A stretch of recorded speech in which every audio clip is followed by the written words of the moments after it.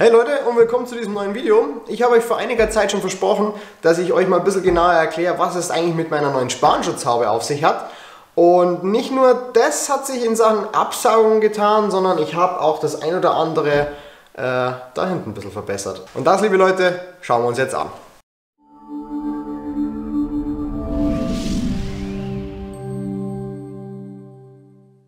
So, wir fangen hier hinten an. Wir haben ja hier ganz im Eck mehr oder weniger meine Scheppbach Bandsäge. Äh, ein Video dazu findet ihr rechts oben in der Infocard. Da habe ich das Ding mal ein bisschen getestet, nach einem Jahr ein Review gemacht und ausgepackt und so weiter. Ein Problem, was ich aber immer hatte, ist, ich habe sie nie an die Absaugung angeschlossen. Das heißt, hier oben hat sich immer alles mögliche an Dreck gesammelt. Innen, innen drin in diesen Bereichen war immer extrem viel Staub.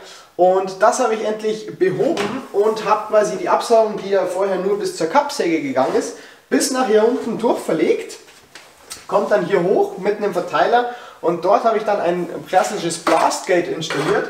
Dieses Blastgate ist nicht von mir irgendwie designt, sondern von Charlie Shed. Ähm, den verlinke ich euch auch mal unten nochmal in der Videobeschreibung, zu dem aber später mehr. Ähm, das ist einfach quasi mit einem 3D-Drucker. Du hast hier eine Lade, wenn die zu ist, wird aus diesem Bereich nicht abgesaugt. Möchtest du hier absaugen, ziehst sie raus und dann ist quasi der Schlauch hier freigegeben und dann können wir hier direkt am äh, Anschluss von der äh, Bandsäge absaugen. Und es macht echt einen, einen mega Unterschied, ob du quasi mit Absaugung schneidest oder nicht. Wenn du hier und da mal einen kurzen Schnitt machst, brauchst du es nicht zwingen, aber wenn du viele Sachen an der Bandsäge schneidest, dann ist das auf jeden Fall echt geil. So, und wenn wir hier schon da sind, es gibt eben unten eine Abzweigung, die geht dann eben hier an den hinteren Bereich nach oben, hier mit ein paar 30er Stücken um die Kurve, weil, ja, ich hatte einfach keine 45 Grad Bögen mehr. Deswegen hier ein bisschen komisch rüber. Dann habe ich hier eine Schlauchstelle montiert, einfach aus dem Grund, ähm, damit das hier oben auch massiv und fest da ist. Da immer wieder auf dem Blastgate, dasselbe System wie unten. Und hier wiederum geht das Ganze dann auf meine neu, relativ neue ähm, hier Bandschleifmaschine oder Tellerschleifmaschine. Ähm, auch dazu gibt es ein Video, packe ich euch natürlich auch nochmal in die Infocard. Ja, das hier ist einfach nur ein ganz kurzes Stück. Das kann man relativ einfach abnehmen. Das ist nämlich nur drauf gesteckt. Und ähm, man hat auch hier wieder einen Adapter, den habe ich mir auch wieder selbst gedruckt mit einem 3D-Drucker. Wirklich, den 3D-Drucker, den brauche ich so eigentlich gar nicht. Aber für die Werkstatt ist das Ding einfach, es ist goldrichtig. Das Problem nur ist immer, man muss es meistens davor selber konstruieren und zeichnen. Das geht super, klappt meistens, es macht Spaß. Nur es dauert halt auch ein bisschen. Du musst vielleicht den ersten Versuch machen, dann nochmal drucken und so weiter. Aber erstmal musst du es konstruieren. Und äh, manchmal fehlt mir da auch ein bisschen die Zeit und vor allem auch die Lust. Ähm ich wollte hier oben noch so ein kleines Cover hier oben drüber bauen, damit einfach der Dreck, den ich hier oben produziere, der, der momentan fliegt der einfach hier drüber. Ja, das ähm, ist meiner Meinung nach ein bescheuertes Design. Wenn das Ding einfach einen Zentimeter schon mal weiter hochgehen würde, wäre da schon viel geholfen. Das muss ich noch angehen, das dann vielleicht mal in einem zweiten Teil äh, in Sachen Absaugungsupdate. Aber äh, ja, jetzt bin ich eben noch nicht dazu gekommen.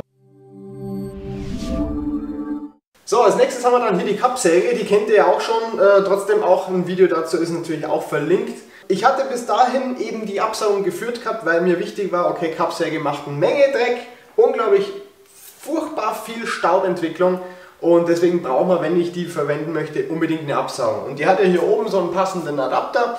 Da ist eigentlich, wenn man die kauft, so ein, so ein Sack dabei. Ja, kannst du eigentlich, ja, er bringt ein bisschen was, aber es ist halt eigentlich nicht wirklich effizient. Trotzdem hier oben angesaugt, ein bisschen was geht dabei weg. Natürlich auch wieder hier nach oben gegangen. Hier hinten wieder so ein typisches Blastgate. Ähm, ich muss das Ding noch irgendwann mal ein bisschen fixieren, weil aktuell rutscht es noch ein bisschen rum. Aber hier mal das Blastgate, dann geht es rüber auf die Kappsäge. So, ähm, gebracht hat was, aber nicht viel. und deswegen, liebe Leute, habe ich mir vor wahrscheinlich mittlerweile ein bisschen über einen Monat mich mal hingesetzt, habe dabei die Kamera ausgelassen und habe einfach mal experimentiert. Habe mal ein bisschen rumprobiert, habe mit einem alten Stück Karton einfach mal das ein bisschen so geknickt, wie man das hier unten bauen könnte, um einfach hier unten auch abzusaugen. Ähm, das ist nämlich, da gibt es gibt es kein wirkliches Patent dafür. Ähm, da gibt es ein ganz cooles Video, das packe ich euch auch mal in die Videobeschreibung. Der hat einfach mal versucht, einen wirklichen Unterschied zu messen, wenn er die Kappsäge ähm, nur von oben absaugt, nur von unten, mit welcher Absaugungstechnik. Das packe ich euch wie gesagt mal unten rein, ist ein englischer YouTuber, aber er erklärt das wirklich sehr gut, macht es danach immer mit wirklich exemplarisch, hier so und so viele Schnitte, das ergibt so und so viel Dreck und echt super und ich habe mir versucht, ein bisschen in diesem Bereich mich auch vorzuwagen. Bei weitem natürlich nicht so effizient, aber ich merke einen deutlichen Unterschied und das ist das, woraus mir ankommt. Natürlich, wenn ich jetzt hier viel schneide, ist der Tisch immer noch komplett voll, aber wie gesagt, bei weitem weniger. Was habe ich gemacht? Es ist einfach nur eine kleine Behäusung, die ich gebaut habe. Ihr seht aus hier alten Resten von hier Multiplex. Meiste ist einfach nur mit, mit Heißklebe zusammengeklebt, um ehrlich zu sein. Das ist einfach nur eine Box. Die habe ich dann wiederum hier in verschiedenen Teilen, da habe ich einfach ein paar Gärungen draufgeschnitten und so weiter, damit es hier rumgeht. Ähm, habe sie dann da drauf gesetzt, mit Heißklebe wieder einmal alles abgedichtet, damit man es relativ easy wieder rausbekommt. Ich meine, da haust du einmal gescheit dagegen, dann fällt das Ding schon runter. Ähm, habe dann hier an der Seite wieder mit einem 3D-Drucker einen kleinen Anschlussadapter konstruiert, gedruckt, whatever. Ich glaube nicht, dass man es so wirklich sieht. Naja, dafür ist es einfach zu dunkel. Auf jeden Fall hier drin, hier drin, da kommt das Ding raus. Da das Ganze natürlich jetzt eine relativ geschlossene Box ist, saugt es hier vorne und hier generell gut ab, ähm, weil natürlich die Luft von diesem kleinen äh, Rohr hier ähm, sehr stark angesau angesaugt wird. Das funktioniert auch wirklich echt ganz gut. Ähm, ich bin sogar am überlegen, ob ich den oberen, weil hier habe ich ja quasi die Abzweigung auf den von hinten, ob ich den nicht sogar wieder wegbaue, um die ganze Saugleistung hier unten zu haben. Ähm, ja, noch habe ich beides dran, aber wie gesagt, es wäre fast eine Option, um einfach hier die Absaugung direkt am Schnitt, am Werkstück noch zu erhöhen. Aber es funktioniert auf jeden Fall schon mal ganz gut. Das Ding ist absolut nichts Besonderes. Ähm, du kannst auch derzeit, also ich habe bis jetzt seitdem nie wieder irgendwie einen 45 Grad oder 20 Grad Winkel geschnitten. Ähm, weil das Problem ist natürlich, du schneidest dir in, dein, in deine Behausung hinein. Geht gar nicht anders. Ja? Ähm, das Problem ist halt, wenn ich meine Untergrundkonstruktion drehe, dreht sich die Box logischerweise nicht mit, weil der Anschlag bleibt ja parallel. So, wenn ich jetzt wieder schneiden würde, dann würde ich ja einen anderen Schnitt ähm, produzieren und somit würde das Ding da oben immer löcheriger werden und immer schlechter. Ähm, es gibt ein paar, die haben das quasi dann abnehmbar gemacht, sprich wenn sie jetzt 45 Grad schneiden, dann können sie das Ding easy ra äh, rausschrauben oder so. Aber das ist halt dann doch nochmal wirklich äh, Next Level und das war für mich wirklich einfach nur irgendwas muss passieren und es ist was passiert. Ihr seht, ich habe auch die Ecken alle ein bisschen abgerundet, hat nichts irgendwie mit, ja, damit du dich nicht schneidest oder so zu tun, sondern es ist verdammt eng. Um hier überall rumzukommen, muss einfach hier genug Platz sein und es war verdammt eng, dass alles, dass das hier ausgeht, auch wenn ich jetzt eben hier rüber gehe. Da geht es sich ganz, ganz knapp nur aus. Also hier passt kein Finger mehr durch. also es liegt wahrscheinlich sogar ganz knapp darauf an, aber es, also noch geht's, aber es ist wie gesagt knapp. Geplant ist es eben hauptsächlich, um einfach nur gerade Schnitte zu machen und äh, wenn es doch mal sein muss, dass ich einen Winkel draufschneiden muss, ja, dann ist es halt so, dann kann man den Schnitt theoretisch dann danach wieder abkleben oder irgendwie sowas. Das Wichtigste war mir einfach, es muss irgendwas passieren, die Absaugung an dieser Kappsäge ist einfach absoluter Müll gewesen. Ich weiß, das ist auch bei einer 1000 Euro Bosch Kappsäge so. Und deswegen bin ich echt mega happy, dass ich das gemacht habe und das hat so viel verbessert und ich nehme die Kappsäge mittlerweile richtig, richtig gern her. Und jetzt noch schnell zu dem Elefanten hier im Raum. Ja, ich weiß, unglaublich witzig. Ja, lange, lange habe ich mir ja immer gesagt, eine Sparenschutzhaube wäre schon nicht schlecht. Erstens natürlich wegen dem Dreck, aber vor allem auch wegen der Sicherheit und den Fingern. Ja. Ich meine, jeder hat nur 10 und die würde ich natürlich gerne auch behalten und deswegen ist es natürlich nie verkehrt, seine Sicherheitseinstellungen oder Vorkehrungen zu verbessern, zu erweitern. Und da ist natürlich eine Sparenschutzhaube auf jeden Fall ein großer und wichtiger Punkt und auch Schritt. Das Problem ist, warum ich die alte nie drauf hatte, die mit der Bosch mitgeliefert wird, ist ein kompletter Müll. So, sage ich jetzt mal ganz ehrlich. Habe ich die nur irgendwo oder habe ich die weggeschmissen? Das ist die Sparenschutzhaube, die mitgeliefert wird bei Bosch. Also erstens mal, was für ein Ungetüm, ja, äh, was genau willst du damit? Ich verstehe natürlich den Sinn und die Idee dahinter. Ja? Du hast das Teil hier hinten drin eingebaut, das, du kannst hier oben gar nicht drauf reifen, wenn du willst. Das Brett wird hier unten nochmal geführt, also du schiebst es unten rein, dadurch erhöht sich das und dann schiebst du es durch. So, erstens mal kann mir mal irgendjemand sagen, wo ich hier irgendwas absaugen soll. Geht nämlich nicht.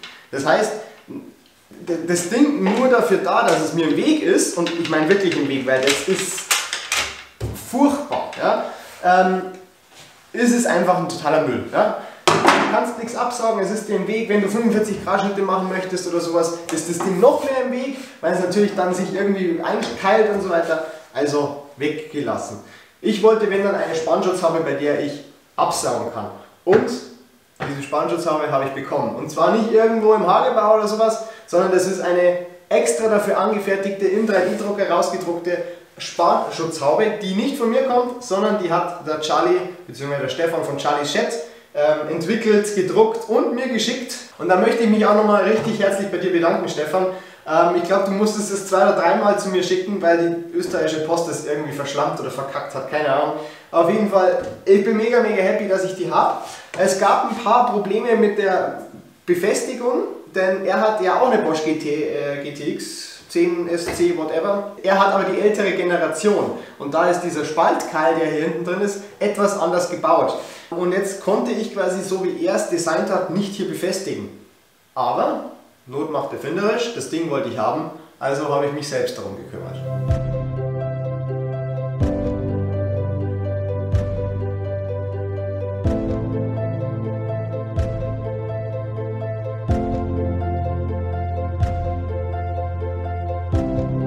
So, wie schaut das jetzt bei mir aus? Ich habe es relativ weit oben natürlich äh, befestigt. Das heißt, das Sägeblatt kann ich trotzdem ähm, relativ gut äh, schief stellen. Ich kann es weit runterfahren, was ich natürlich nicht zwingend brauche. Ich kann sehr weit ausfahren, habe quasi noch eine große Hubhöhe. Ich glaube, die Kamera wackelt gerade die ganze Zeit.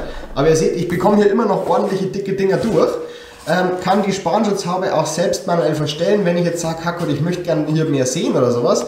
Ich kann sie weiter runterfahren, ohne dass das Sägeblatt blockiert. Was ja auch manchmal dann das Problem ist, dass es dann vorne ansteht. Ähm, da ich eben den Befestigungspunkt relativ weit vorne gewählt habe, ist das eben bei mir nicht der Fall. Ich habe die Spannschutzhaube jetzt mal aufgeklappt, damit man einfach mal sieht, wie das hier drin ausschaut. Wir haben quasi hier hinten die Befestigungsschraube, die kann ich auch einfach wieder lösen. Das ist einfach nur eine Schraube ähm, mit einem Imbus und halt einer Mutter. So, die Säge dreht ja logischerweise nach vorne, um sich in das Holz reinzufressen. Logischerweise, weil wenn es andersrum geht, würde, würde sich jetzt mal das Holz nach hinten hauen. Das heißt, es dreht sich so nach vorne, trotzdem schießt es dabei aber immer Dreck auch nach vorne weg. Das heißt, wenn man hinten absagt, ist sowieso ein bisschen blöd. Jetzt denkt ihr aber, ja, genau das tut ja auch die Absaugung, die saugt ja hinten ab. Ja, das ist richtig. Das Besondere ist aber, wir haben hier oben einen extra, einen extra Kanal eingearbeitet. Dadurch wird quasi die Absaugung, die ja hier hinten ist, nach vorne weitergeführt und erst hier vorne kommt dann wirklich die Saugwirkung zustande. Und das ist ja auch richtig so, weil wir schneiden ja hier vorne und nicht hier hinten erst. Also sprich hier vorne, wenn das Holz das erste Mal in das Sägeblatt eintaucht, dort entstehen die Späne und nicht da hinten. Deswegen wirklich nochmal echt Props an Stefan, echt ein geiles Design. Ich weiß nicht, ob er sich das wirklich selbst ausgedacht hat oder ob er das irgendwo gesehen hat oder ob das eigentlich jede normale Spannschutzhaube kann, nur eben die von Bosch halt nicht. Auf jeden Fall wirklich cool. Ich möchte mich nochmal recht herzlich dabei dir bedanken. Ich habe dann hier oben einfach nur mit Klebeband das nochmal ein bisschen ähm, dicker gemacht, um einfach meine, äh, ja nicht genau hundertprozentige passgenauen Adapter, den ich natürlich dann hier wieder mit dem 3D-Drucker gedruckt habe, hier einfach drauf zu stecken. Denn das soll natürlich schon auch ein bisschen halten. Ähm, so ist es relativ gut drauf. Und ähm, ja, funktioniert super. Mein Absaugarm ist natürlich jetzt immer in Verwendung. Früher hatte ich den ja, wenn ich irgendwie drüben mit der Oberfräse was fräsen wollte oder irgendwie was abschleifen wollte, konnte ich den immer herauspacken, zack, da drüben fräsen. Ähm, Brauche ich ja mittlerweile nicht mehr wirklich, weil wir haben ja die eingebaute Oberfräse und da ist ja auch eine Absaugung integriert. Zumindest schon eine. Ja. Auch hier möchte ich natürlich noch erweitern, denn bis jetzt ist es halt so, ich saug halt nur von unten ab, das heißt alles was hier innen reinfällt, ist quasi durch die Oberfräse, die hat natürlich auch so einen, so einen Anschluss, wo du quasi absaugen kannst. Da kommt natürlich schon gut was weg. Also das funktioniert auch super, das finde ich mega nice. Aber natürlich hast du auch hier oben eine Menge Dreck. Ja, da brauchen wir gar nicht drüber reden. Und dafür wäre natürlich mal ein gescheiter Parallelanschlag äh, vonnöten. Ähm, das hier ist einfach nur ein Brett, das mir hier mit einem Forstnerbohrer ein kleines Loch reingeschnitten habe, um einfach, wenn ich irgendwas habe, das ich relativ nahe abfräsen möchte, natürlich nicht in mein Profil hier reinschneide oder sich der Fräser fängt. Ähm, aber da muss natürlich noch was her. Und deswegen ist natürlich das alles nicht Finale. Das ist jetzt einfach mal der Stand Ende 2021, was meine Absaugung betrifft.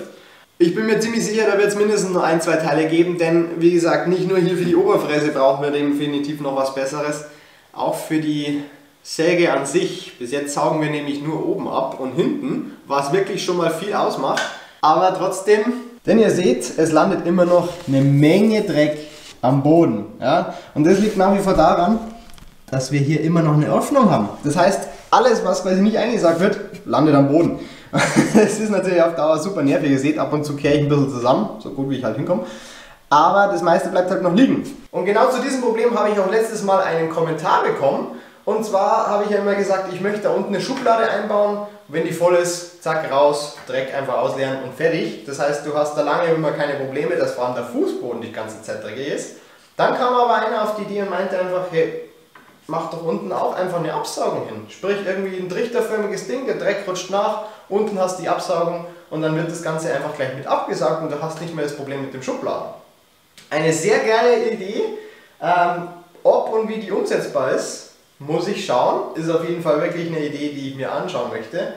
Aber eins nach dem anderen, Leute. Wir haben nämlich noch einen Haufen anderen Projekte vor uns. Das war jetzt einfach mal der Zwischenstand zu Absaugung ich hoffe, euch hat es gefallen. Ich hoffe, ihr konntet auch ein bisschen sehen, wie ich meine Sachen dann so angehe. Wenn ihr zu irgendwelche Sachen, Verbesserungsvorschläge, Ideen, ähm, sonst irgendwas habt, schreibt mir das einfach mal in die Kommentare. Würde mich natürlich auch sehr interessieren, wie geht ihr sowas an? Habt ihr eine Sparenschutzhaube? Würdet ihr so eine verwenden? Ich meine, wie gesagt, dieses Ding da von Bosch kann keiner ernst nehmen.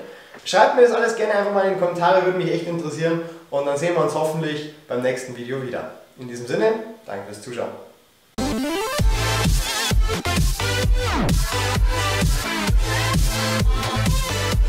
We'll